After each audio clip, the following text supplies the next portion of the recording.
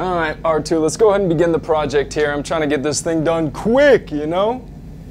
R2? Ah, yeah, this is just a green screen. I'll do it myself. What do we have today? Three shortcuts to help you blast your editing to hyper speed. Nah, I don't believe it.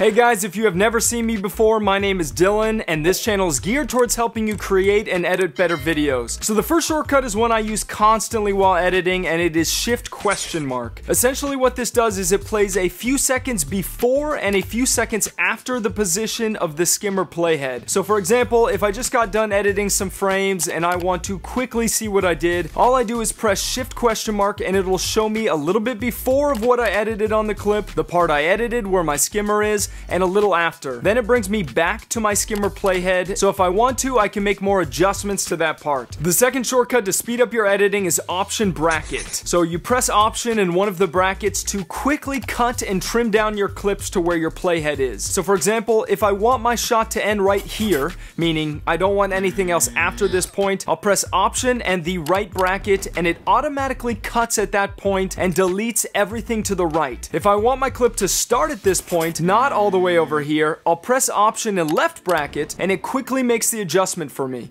This is a huge time saver. The last shortcut is period or comma, so if you select either the beginning or the end of your clip and then press period or comma, it cuts off or adds a single frame of the clip. So oftentimes if I want to make a very minute trim of my clip, I'll select the beginning of the clip and press period a few times till I find the exact frame I want to trim to. If I taught you something new today, it would mean a lot if you press the thumbs up button to help this video reach more Final Cut Pro users and to also help my channel out. I put a lot of time into my videos every week, so support is always appreciated. If there are any other shortcuts you guys cannot live without, please let me know in the comment section below. I am always surprised how often I hear of shortcuts that I've never heard of before. I hope you guys have a great weekend, and I will see you next week.